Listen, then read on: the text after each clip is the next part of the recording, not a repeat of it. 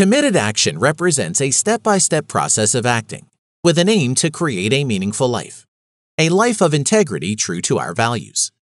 The cornerstones of commitment are persistence and change, which manifest in a range of behaviors. It involves flexibility rather than a rigid commitment to actions that don't lead to desirable results.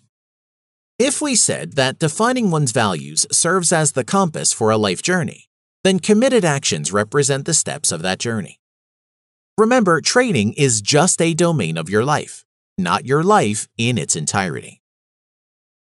SMART is an acronym for five important characteristics that should characterize your goals. Specific.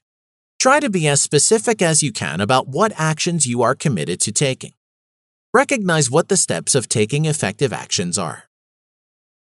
Meaningful. Make sure your goal is truly guided by your values.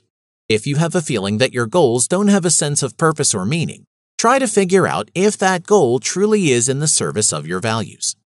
Don't forget that your values are based on what matters to you the most, not on what your mind is telling you or what other people say or think. Adaptive or flexible, a goal that exists in the current context and is ready to be improved in order to suit a changing situation. Trading situations change fast. Adapt your goals in accordance. Realistic. Setting unrealistic and unachievable goals is the path to disappointment and failure.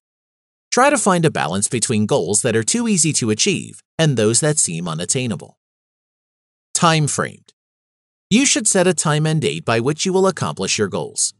If that is for some reason impossible or too difficult, set a general time frame and stick to it.